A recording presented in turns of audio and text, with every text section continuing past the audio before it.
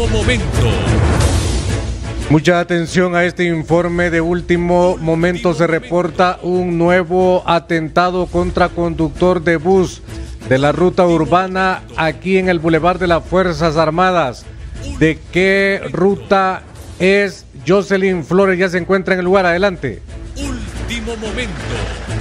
Así es, muy buenas tardes, abogado Pablo Gerardo Matamoros y a todos nuestros televidentes de HCH Vespertino. Rapidito, a esta hora de la tarde ya estamos ubicados en el Boulevard Fuerzas Armadas. Hace aproximadamente unos 15 minutos, dos hombres que supuestamente se conducían a bordo de una motocicleta han atentado contra la humanidad de un conductor de un bus rapidito de la ruta Carrizal Universidad La Sosa, resultando herido y siendo trasladado en un vehículo particular por personas que iban pasando por este sector hacia las emergencias del hospital escuela. Repetimos, a esta hora de la tarde se reporta un atentado contra una unidad del transporte público en la capital. Aquí podemos observar en la parte donde va el conductor un arma de fuego, haya quedado el orificio y posteriormente al interior la sangre que él mismo ha derramado. Aquí pues ha llegado una ambulancia de la Cruz Roja hondureña, pero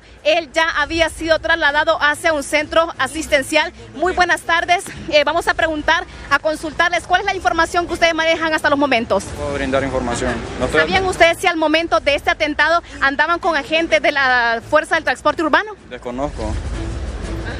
Desconozco.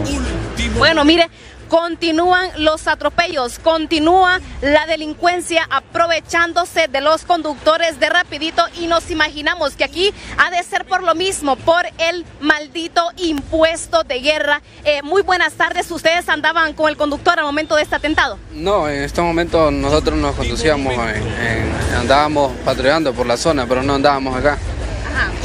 Eh, Usted como un agente de la Fuerza Nacional de Seguridad de Transporte Urbano, ¿tienen conocimiento si al interior iban eh, algunos eh, policías resguardando al, al conductor? no, por los momentos ahorita no está siendo resguardada la- lo que es la ruta Carrizal. Nosotros estamos operando en otras rutas y en eso estamos ahorita trabajando para brindarle seguridad en lo que se plantea la fuerza. Pero ustedes como Fuerza Nacional de Transporte Urbano, que no se escuche feo, pero eh, deberían de andar al interior, no patrullando.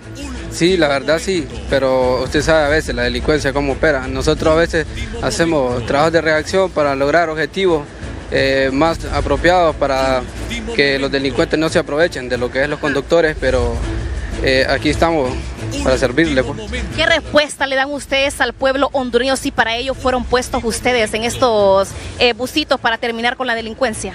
Eh, bueno, sí, la verdad nosotros brindamos una seguridad apropiada a diario para poder, para que se sientan de la mejor manera. Eh, bueno, nada más, solo no tengo más que Eh. ¿Tienen ustedes el nombre del conductor de Rapidito para que sus familiares se trasladen de inmediato hacia las emergencias del hospital escuela? No, hasta este momento no, no manejamos ninguna otra información. Lo que se maneja hasta los momentos es que fueron dos individuos a bordo de una motocicleta. Sí, eh, al parecer sí, pero ahorita más, más tarde le vamos a detallar lo que es. ¿Saben ustedes si hay cámaras aquí de vigilancia del 911? Eh, bueno, en eso estamos trabajando ahorita para ver qué tal, como planteamos la situación. Eh, sí.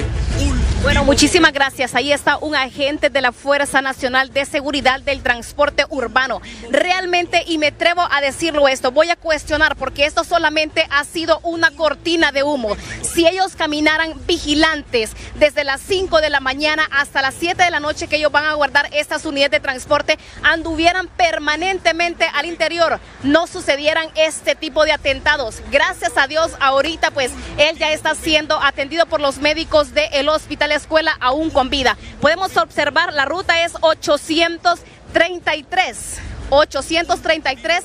Así que compañeros, con este informe de último momento, con esta primicia informativa que caracteriza a HCH Televisión Digital, nuevamente con ustedes hasta estudios principales. Bueno, gracias Jocelyn Flores. Siempre lamentamos que este hecho ocurra. Lamentable tener que iniciar este espacio de noticias en el área informativa.